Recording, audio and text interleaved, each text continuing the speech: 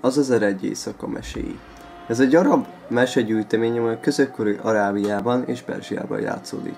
A gyűjteménybe eszméleten sok mese került különböző műfajból. Vannak benne szerelmi történetek, tragédiák vagy vallásos legendák. A legismertebb mesék az Aladdin és a bűvös lámpa, Alibaba és a 40 rabló, és a tengerjáró Szimbád utazásai. Annó gyerekkomban én ezeket a történeteket az Aladinon kívül nem nagyon ismertem, és őszintén egy kicsit bánom is, mert tudom jól, hogy nekem biztosan tetszett volna. Az Adint 3-4 évesen olvastak nekem apám még, és kifejezetten tetszett, a film pedig tudjuk jól, hogy nem szarra gurigázott.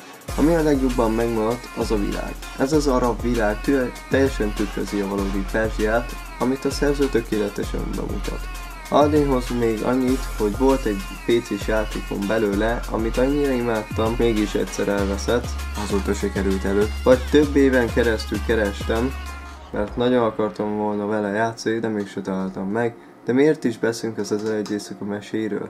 Mert a még ebben a világban játszódik, Aladdin és Alibaba főszereplésével, ami nem más, mint a magi Labyrinth of Magic.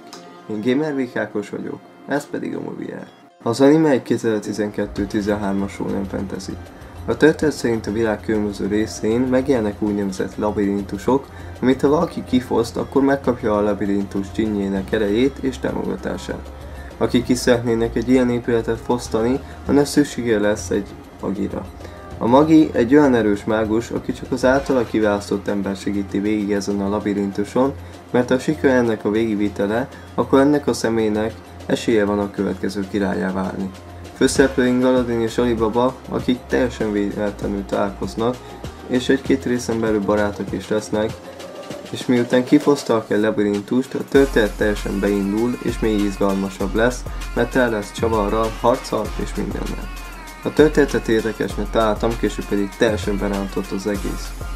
Jön az anime másik pozitívuma, a karakterek.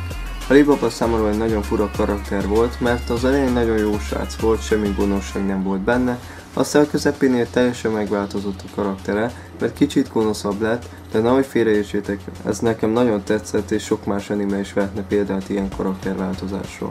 A másik főszereplő Aladdin, a Magi, egy zseniális karakter, egy 10-11 éves körüli kisrác, akinek nagyon fontos a barátság, és hát ezt mondjuk fura kimondani, de a cicik is, nagyon vicces a karakterem, meg a kinézete is.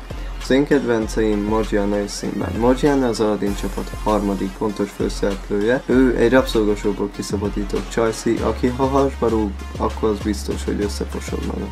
Sinbad a híd királyság ura és egy zseniális figura, rohadt vicces és egy igazi csajozógép.